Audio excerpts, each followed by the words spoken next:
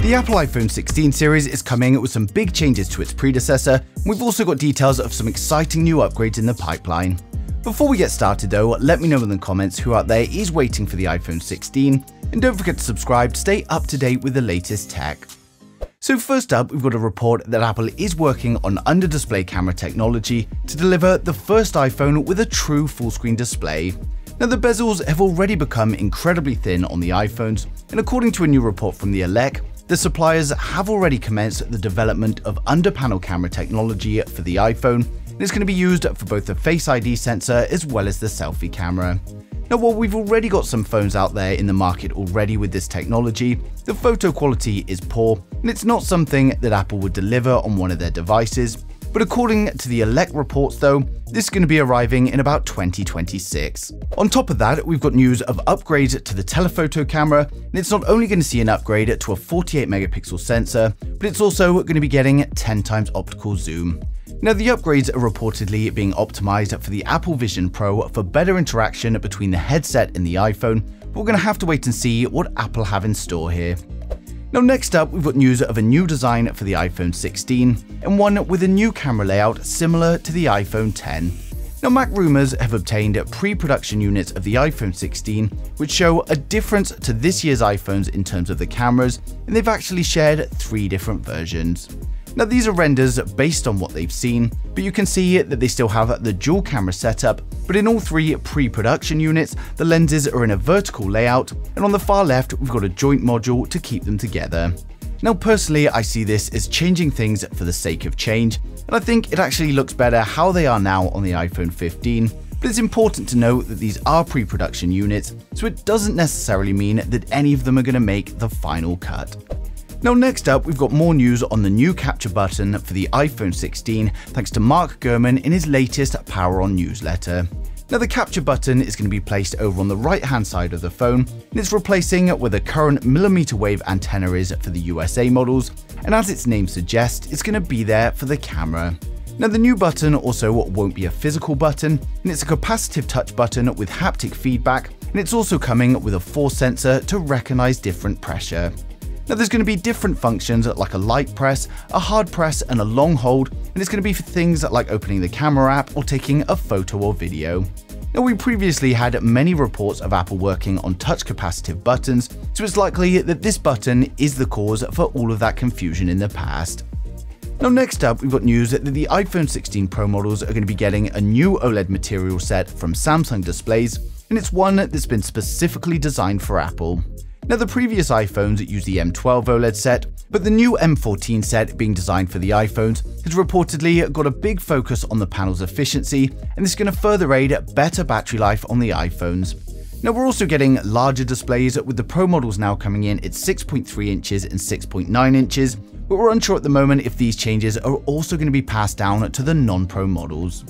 Now as we know, Apple are working hard on bringing more AI features to the iPhone, and especially AI that's handled on the device itself. And Ming Chi Kuo has now advised that for the iPhone 16, we're going to be getting an upgraded microphone for better voice and speech recognition to further aid the AI performance. Now, for those of you excited for the Apple iPhone 16 series, we're now going to run through the full specs, design, and the pricing for each model in the range to help you guys decide which one is right for you. For my regular viewers, you guys have seen this, so just skip to the next video. But if you're new here, then hit subscribe now and we'll get right into it. So first up, we have the standard iPhone 16. With the standard iPhone 16, we get a 6.3 inch OLED display, but unfortunately, this is still going to be an LTPS display. The iPhone 16 is going to have a taller aspect ratio than last year, and it's going to be protected by Ceramic Shield 2. We get the new Dynamic Island, which covers up the 12 megapixel selfie camera and Face ID sensors. Then on the rear, we've got a 12 megapixel primary camera and a 12 megapixel ultra wide. It's powered up by the A18 chipset, and it's likely coming with 6GB of RAM and up to 512GB of storage. It's also powered up by a 3450 mAh battery with 30 watt fast charging, and it's going to come with advanced 5G, Bluetooth 5.3, and Wi-Fi 7. Now it will of course ship with iOS 18 and is expected to launch from around $850 in September 2024. Now next up we've got the iPhone 16 Plus, With the iPhone 16 Plus, we get a 6.9 inch OLED display, and again, unfortunately, this is another LTPS display. It's got a taller aspect ratio than its predecessor and is protected by Ceramic Shield 2.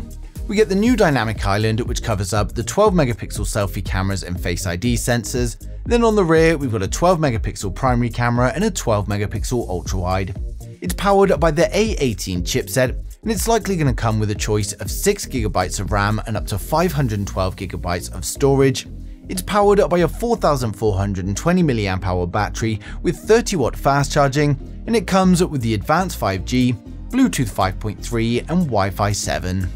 It of course it ships with iOS 18 and is expected to launch from around $950 in September 24.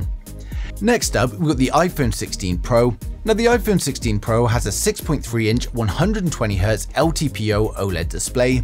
It's got a taller aspect ratio than its predecessor, and the Pro is protected by Ceramic Shield 3. We get the new Dynamic Island, which covers up the 12 megapixel selfie camera and Face ID sensors. Then on the rear, we get a 48 megapixel primary camera, a 48 megapixel ultra wide camera, and then we've got a 12 megapixel tetraprism camera with 5 times optical zoom.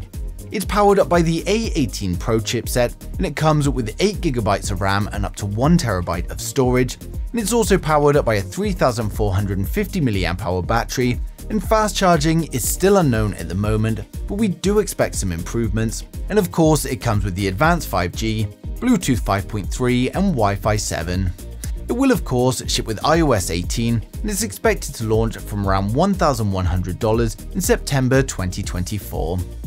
Now finally, we save the best to last, the iPhone 16 Pro Max. With the iPhone 16 Pro Max, we get a 6.9 inch 120Hz LTPO OLED display. Again, like the other phones, it's got a taller aspect ratio than its predecessor, and is protected by Ceramic Shield 3. We get the Dynamic Island, which covers up the 12 megapixel selfie cameras and Face ID sensors. And then on the rear, we've got a 48 megapixel primary camera, a 48 megapixel ultra wide, and a 12 megapixel tetraprism camera with 5 times optical zoom. It's powered up by the A18 Pro chipset. It comes with 8GB of RAM and up to 1TB of storage, and it's powered up by a 4500 mAh battery. As with the 16 Pro, we don't know the fast charging at the moment, but we do expect to see some improvements. Now it comes up with the advanced 5G, Bluetooth 5.3 and Wi-Fi 7, and it will of course ship with iOS 18, and this one's expected to launch around $1,300 in September 24. So overall, the iPhone 16 series is looking like a great addition to the iPhone lineup. While things remain similar, there are still plenty of upgrades. With the new hardware to power it, better and brighter displays along with the new battery thermal technology, this should really enhance the experience and work well with the new AI features. Now of course, because of all the similarities to its predecessor, it's probably not going to make anyone with an iPhone 15 rush for an upgrade, but for anyone with an older iPhone or looking to get their first iPhone, then it's going to be a great choice. Now of course, as we approach the launch, more and more information is going to continue to come in, and I'll be sharing it as soon as it does, so make sure you subscribe so you don't miss a thing in the future.